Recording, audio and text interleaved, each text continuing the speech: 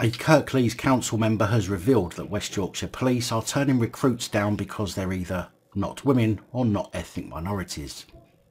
Not exactly the kind of plan you would expect from police forces claiming to not have enough police. I mean, it's like me only hiring fit women who can fit under my desk and turning down munters or men. That, by the way, is called discrimination. Councillor Mark Thompson has spoken out following a report that a white man who applied for a job at West, uh, West Midlands Police was unable to have his application progressed as he didn't belong to a minority group. The prospective recruit was told that the application would be held until police officer recruitment is open for everyone. Now, let's be honest, you have to be completely mad to want to join a failing organisation such as the police right now, at least. So they probably did the guy a favour but it is still discrimination. Councillor Thompson read out an email that was received by the applicant at the council's last full council meeting where West Yorkshire Mayor Tracy Brabin heard the, concerns.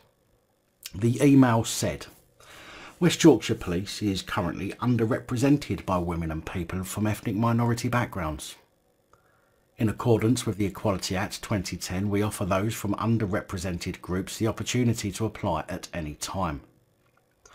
Now, I might be wrong, but the Equalities Act 2010 doesn't, as far as I know, state that to not fall foul of the Equalities Act, you must discriminate against white people and not against black people. In fact, under Section 39 of that Act, employees and applicants, it states that 1.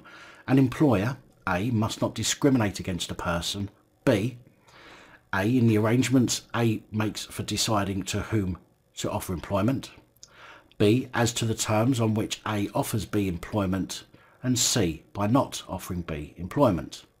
Which means that the police's positive discrimination, which is still discrimination no matter what spin you put on it, is in fact breaking the law. But guess what? It's been going on for ages now. An employer must not discriminate against a person when deciding to whom to offer employment. An employer must not discriminate against a person by not offering employment, which is 100% exactly what they are doing. But, you know, it means that blacks, Asians, women and trans are treated more fairly than others. There is even a section within the Act relating to police officers. That's section 42. And again, I can't find anything in that section that relates to allowing police to discriminate against white males in favour of women and ethnic minorities. I mean, it almost feels like blacks and other ethnic groups, women and trans folk, will soon be shanghaied or conscripted into the police, whether they want to join or not. I mean, it's utterly pathetic.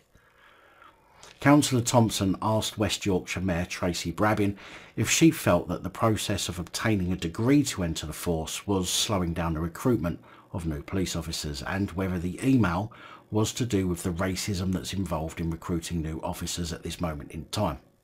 In response, Mayor Brabin defended the police's recruitment process, saying, I'm hugely proud that the West Yorkshire Police has again, by PEEL standards, been designated as outstanding. Yeah, but let's face it, all standards have been dropped over the years, so being classed as outstanding on subpar standards isn't exactly an accolade to be proud of, is it?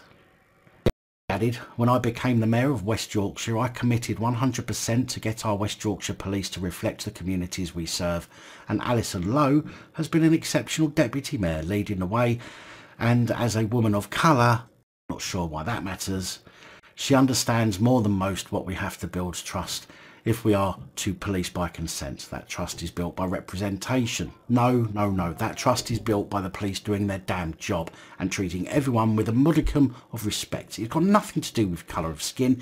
It's got nothing to do whether you have an innie or an outie. I'm not talking about belly buttons, by the way.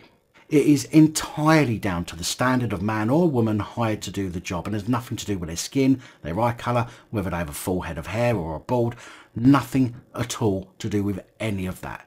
If you want trust, I've said it before and I'll say it again, then you need to forget the fact that people have different skin colours when it comes to hiring people. Concentrate on hiring people who can do the fucking job and do the job properly without lowering the entry bar in terms of physical or mental ability. The fact that the Mayor is blatantly backing discrimination from West Yorkshire Police shows to me and should show to you exactly the kind of organisations that we are dealing with. Because if it was you or me and we were hiring for our organisations, we would be in front of a tribunal